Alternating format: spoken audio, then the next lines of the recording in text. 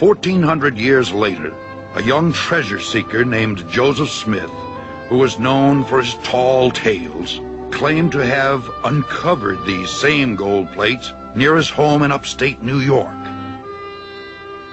He is now honored by Mormons as a prophet because he claimed to have had visions from the spirit world in which he was commanded to organize the Mormon church because all Christian creeds were an abomination.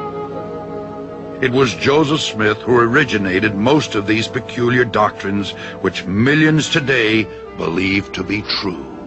The Mormons teach that everyone must stand at the final judgment before Joseph Smith